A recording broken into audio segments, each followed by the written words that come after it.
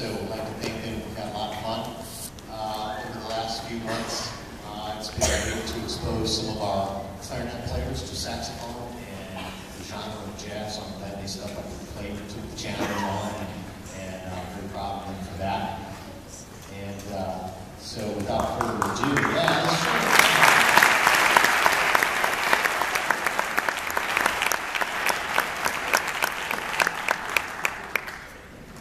And did I mention we got four bari saxes?